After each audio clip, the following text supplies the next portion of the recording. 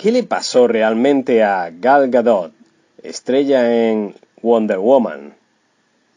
Gal Gadot nació el 30 de abril de 1985 en Rosh Hayin, Israel, de Irid y Michael Gadot. Mientras que su madre era maestra, su padre era ingeniero de profesión. Hizo su especialización en biología en la escuela secundaria y también se destacó en baloncesto en la escuela debido a su altura. Después de terminar la escuela secundaria, Gadot estudió Derecho dos veces en la Facultad de Derecho de Reichmann y en el Centro Interdisciplinario Erchila.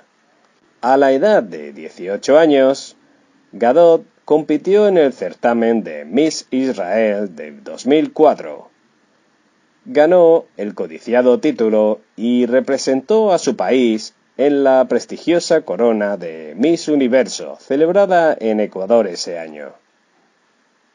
Ella cumplió sus dos años obligatorios de servicio en las Fuerzas de Defensa de Israel desde la edad de 20 años.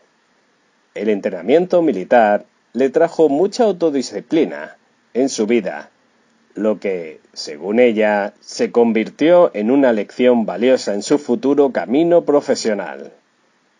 Después de su servicio militar, Gadot estudió Derecho.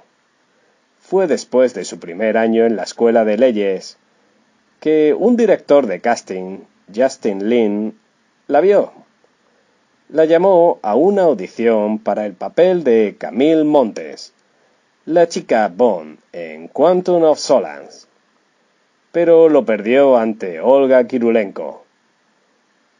Conociendo el potencial que tenía Gadot y no queriendo perderla, Lin le ofreció el papel de Giselle en la cuarta entrega de la franquicia Fast and Furious. Durante el mismo tiempo, hizo su debut televisivo en el drama israelí Bubot. En 2010, Gal Gadot desempeñó un papel menor en la película de acción y aventuras Night and Day. Antes de esto, interpretó a Natania, la novia del personaje de Mark Wahlberg en la película Date Night. Gadot repitió su papel de Giselle en la quinta y sexta entrega de la serie Fast and Furious. En el año 2016, consiguió el papel de Wonder Woman para la película Batman vs. Superman, Dawn of Justice.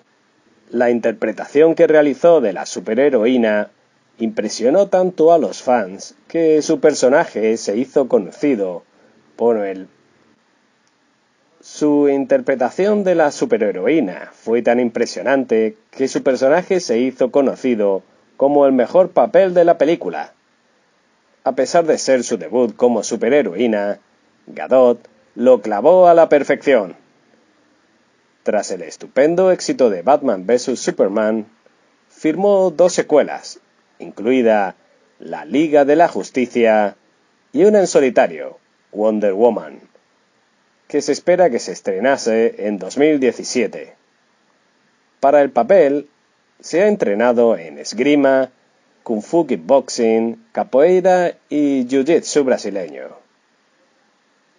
Aparte de su serie de superhéroes, Gadot asumió pequeños papeles en 2016, incluido el thriller criminal Triple Nine de John Hillcoat. En la película compartió espacio en la pantalla con los talentosos Kate Winslet y Aaron Paul. También coprotagonizó la película de suspense Criminal, como la esposa del personaje Ryan Reynolds, y en la comedia Keeping Up with the Joneses, en la que interpretó el papel de un agente secreto junto a Isla Fisher y John Hamm. Además de ser actriz, Gadot también es una modelo activa. Participó en la sesión de fotos de Maxim, Mujeres del Ejército Israelí, y apareció en la portada del Post de Nueva York. Ha dirigido varias campañas publicitarias internacionales, incluido el del ron Captain Morgan, las fragancias Gucci, las gamas de productos para el cuidado de la piel Vine Vera, Jaguar Cars, etc. Ha sido también el rostro de la marca de perfumes Bamboo de Gucci, los teléfonos inteligentes Huawei y de Mi 60.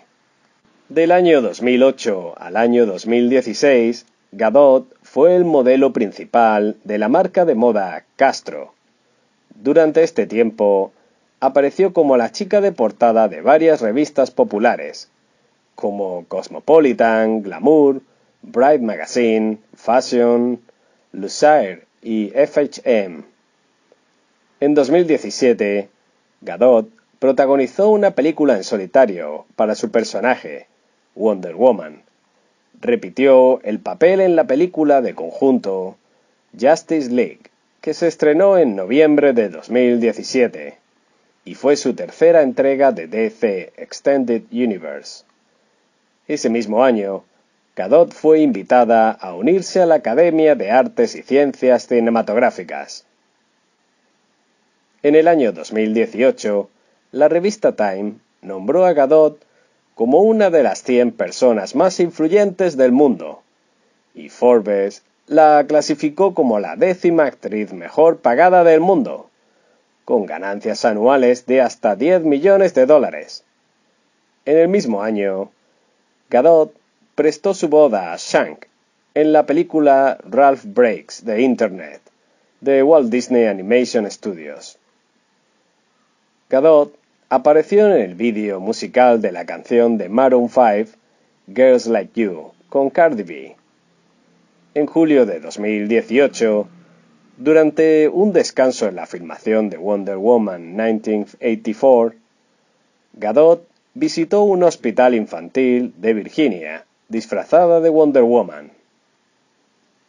En el año 2020, Forbes clasificó a Gadot como la tercera actriz mejor pagada del mundo, con ganancias anuales de 31,5 millones de dólares.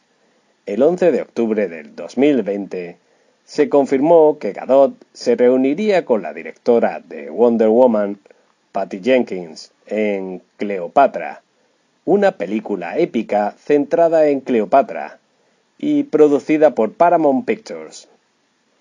En diciembre, Gadot participó en el thriller de espías Heart of Stone.